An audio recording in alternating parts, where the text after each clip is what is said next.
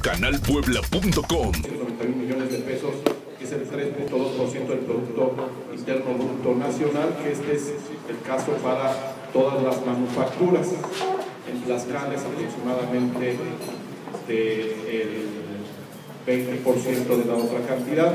Cabe destacar que Puebla ocupa el cuarto lugar en cuestión de participación textil vestido a nivel nacional a nivel nacional en la cadena textil vestido cuero para la contribución para el Producto Interno Bruto.